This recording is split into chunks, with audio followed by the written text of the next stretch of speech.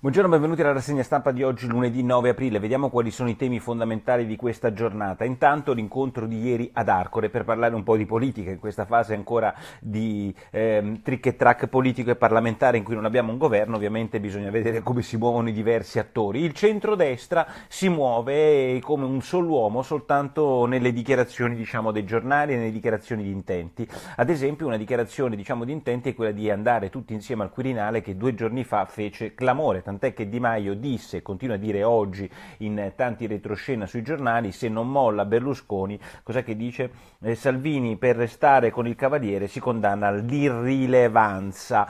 Ma oltre a questa vicenda, ieri si sono visti tutti insieme ad Arcore e su questo vanno sempre d'accordo, cioè è, è, incredibile come Salvini in questo sia molto docile, nel senso che accetti di andarsi a vedere dall'anziano leader, cioè Berlusconi, e non per esempio a casa sua, dove e chi va da chi è un elemento significativo, importante nella politica. Mi stupisco come oggi nessuno lo noti, ma quello che notano tutti è che nonostante si siano visti ad Arcore, poi alla fine l'accordo non c'è, perché l'idea di Berlusconi e dei suoi era quello di fare un governo Salvini anche di minoranza, questi sono i retroscena dell'incontro incontro di ieri, ma Salvini uscito dall'incontro ad Arcore appunto di unità con Meloni e Berlusconi ha subito detto non ci penso proprio, non riesco a capire per quale motivo io debba fare un governo che va sempre a UG, Giorgio, vada a fare tutti i giorni a ricercare in Parlamento la maggioranza. E d'altronde capisco perfettamente l'idea di Salvini, troppo semplice dirgli senti vai avanti a, sca- a schiantarti tu a cercare sempre i voti eh, in Parlamento senza riuscire a fare nessuna rufa- eh, riforma. Devo dire sarebbe pazzo Salvini ad accettare un, eh, una soluzione di questo tipo che tant'è lui fa subito capire che non ha interesse a farla valere. E di Maio dice ovviamente che Salvini è condannato a um, e a, a, all'irrilevanza se continua a stare con Berlusconi, d'altronde anche, eh, capisco anche Di Maio, perché Di Maio certo l'accordo con il PD, a parte il fatto che continua sempre a chiederlo in tutti i modi, sguaiati come sono tipici quelli del fatto, ed è anche vero però in una cosa quello che dice il fatto, e cioè che eh, il milieu culturale tra Movimento 5 Stelle e PD, la base culturale, non ovviamente gli eletti, è molto più simile che eh, al centrodestra, ma il punto fondamentale è che il PD non ci vuole stare fare. Insomma, queste sono le novità di giornata, se non che i tempi mi sembra che si allunghino sempre di più. Oggi vi consiglio eh, di guardare un, um, eh, un, pezzo straordinario di Luciano Capone, giornalista del Foglio, che non verrà mai più invitato se questo è l'andazzo, ai convegni del Movimento 5 Stelle e anche a quelli di Davide Casaleggio. Lui, il titolo del pezzo è L'uomo più potente d'Italia, scimmiottando un po' un titolo che aveva fatto anche, scusatemi, ma non vi offenderete se prendo un po' d'acqua così a canna, eh? Scusate, ma... Mm. Scusate la maleducazione, ma ero senza bicchiere, non so come fare.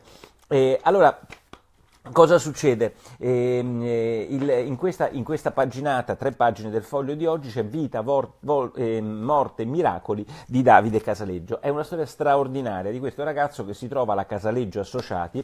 Un'altra cosa che segnala è che la Casaleggio Associati, tutti ci avevano detto attraverso e varie formule controlla questa associazione privata Rousseau che è molto legata al Movimento 5 Stelle, tanto legata al Movimento 5 Stelle che l'associazione Rousseau eh, prenderà dagli eletti del 5 Stelle 1,2 milioni di euro all'anno come contributo alla piattaforma e 6 milioni su base della legislatura. E su questo siamo abbastanza tutti chiari, anche il PD mh, ottiene dai suoi deputati di pagare il partito, non l'associazione privata Rousseau, ma la cosa che mi divertiva e che io non riuscivo a capire è ma questo Davide Casaleggio Associati, questa Casaleggio Associati è un mammut che si occupa di intelligenza artificiale, che ci ha fatto vedere a Ivrea una grande cosa dove non vuole i giornalisti sgraditi. Che roba è? Un milione di fatturato, ma neanche un milione di fatturato, cioè sono delle pippe, non sono neanche un webmaster, delle, delle, de, almeno sulla, sulla, carta, sono mm, inutili, sono, mm, non sono un'azienda, di che ci stiamo preoccupando? Certo che Rousseau con un milione e due all'anno di fatturato dai propri eh, dipendenti, amici eh, parlamentari, prende più di quanto prenda di fatturato complessivo la Davide Casaleggio Associati, la Casaleggio Associati, che fattura meno di un milione e perde 40.000 euro all'anno. Mi sembra sembra una cosa pazzesca, pazzesca, eh, ma non solo questo, nel pezzo di eh, di Capone, leggetelo del foglio, c'è proprio la parabola folle di questa idea della politica di Davide Casaleggio. Poi uno si va a stupire se non vogliono Jacoboni in il giornalista della stampa, già dimenticata la vicenda che un giornalista della stampa viene cacciato. Molto bello il pezzo di Lodovica Boglian oggi sul giornale in cui racconta che in realtà non è colpa di Casaleggio, ma insomma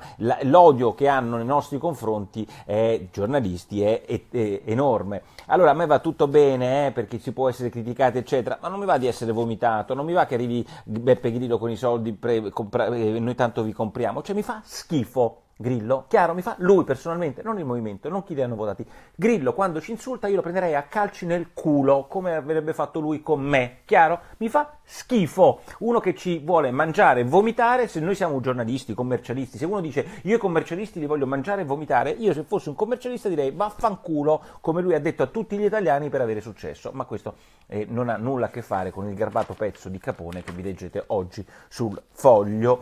Ehm, Terzo mandato per Orban, i giornali rosicano, non mi ricordo quale, forse il fatto fa capire che ha perso meno voti di quanto ci si aspettasse, mi sembra che sia totalmente falso, anche forse che sia il fatto di averlo detto, perché non mi ricordo qual è il giornale che ha detto che Orban non è andato così bene. Mm. Mm.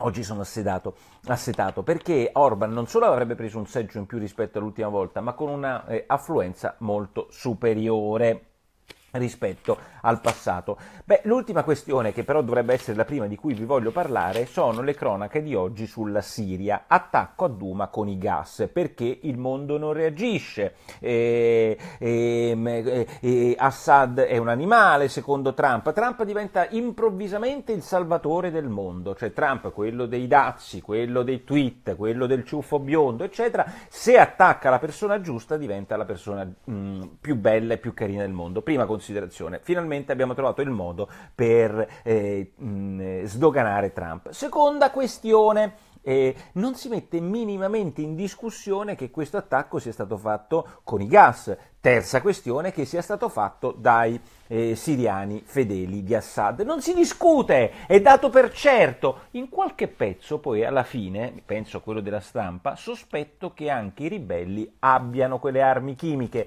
cioè che abbiano fatto una messa in scena per creare, come avvenne le ultime volte, un clima anti-Assad. E tutte queste foto incredibili dei bambini che soffrono ci sono e sono drammatiche. Chiunque li abbia ammazzati sono degli animali. Assad non è certamente una persona con cui vorrei uscire a cena ed è un dittatore, ma i ribelli di Guta, se voi andate a vedervi sul mio sito eh, il servizio di Michalessina, anzi andate su Mediaset a vedervi il servizio di Michalessina, sono ribelli, jihadisti, islamisti che tengono i civili come scudi umani. Di che stiamo parlando? Il più pulito lì è un delinquente, non è bianco e nero in Siria, come Michalessina ha detto, ma io soprattutto Mm, eh, leggo, leggo, per esempio eh, altre questioni, l'unico che scrive da un po' di controinformazione, cioè Michalessino oggi sul giornale, e cioè eh, che cosa leggo? Che eh, ad esempio le armi chimiche secondo l'ONU sono state completamente distrutte negli arsenali di Assad, che le aveva, quindi era un delinquente, perché le armi chimiche sono bandite dalle convenzioni di Ginevra, ma la Siria non le ha firmate, quindi non sto difendendo Assad,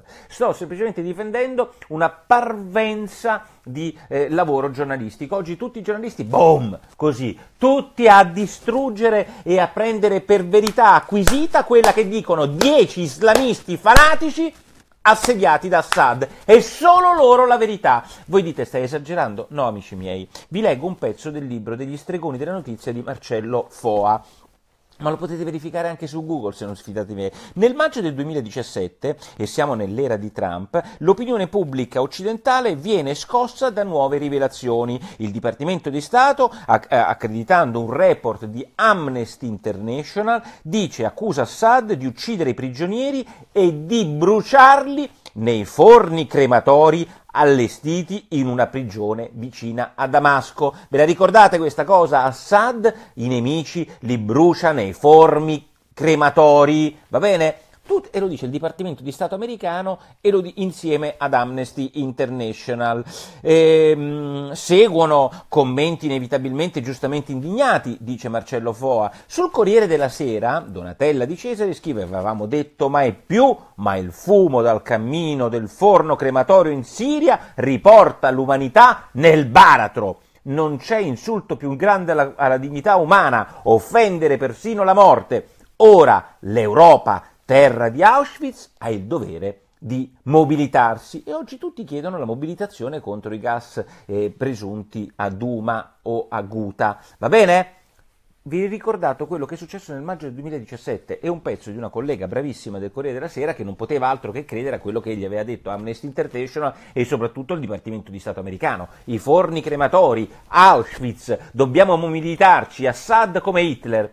Dopo una settimana, dopo una settimana, lo stesso Dipartimento di Stato si ricrede nella prigione governativa di Saidaya, di Saidan, eh, scusate, Saidnaya in Siria, probabilmente non c'è nessun forno crematorio. Una parte dell'edificio ristrutturato nel 2013 risulta semplicemente più caldo. Questo lo trovate nei eh, documenti del Dipartimento di Stato. Prima era sicuro che c'era un forno crematorio e poi dicono che è semplicemente più caldo. Era una notizia cristiana, lo dice bene, sensazionalistica del Dipartimento di Stato per farci odiare il nemico degli americani, cioè Assad, un po' come abbiamo, abbiamo dato ovviamente Hussein per quella provetta di Colin Powell, che era molto meglio di quello che sta succedendo oggi nel Dipartimento di Stato americano, e abbiamo fatto decine di commenti decine di commenti dicendo che c'erano i forni crematori, come oggi facciamo decine di commenti dicendo che Saddam sta usando i gas contro gli inermi e i civili.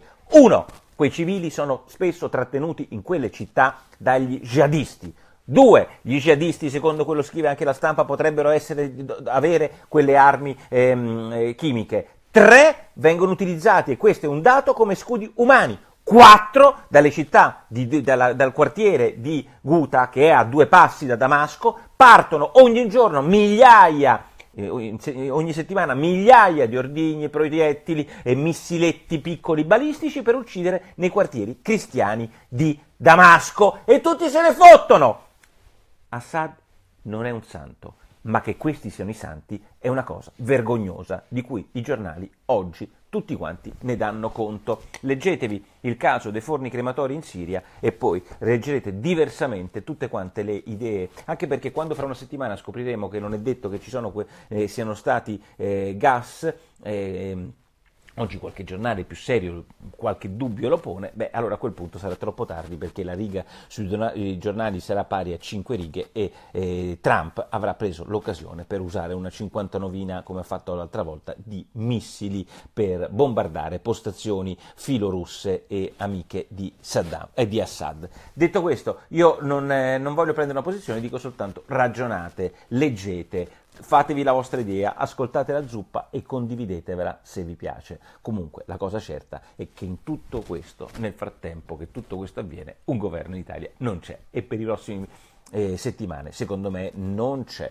Michelessin, unico inviato credibile, anch'io lo chiedo, eh, e Martin dice Bergoglio zitto sui cristiani, mi sembra troppo. Fake news che continuano ad andare avanti, non dimentichiamo anche il famoso Novaic che, eh, il, il, gas nervino russo di cui non c'è stata prova eh, a Londra. Adesso io non è che mm, voglio smontare tutto quanto, però insomma ragazzi stiamo attenti a leggere sempre le verità ufficiali senza fare un minimo di ragionamento. Ciao ciao ciao, condividete se vi piace. A più tardi con 105 Matrix.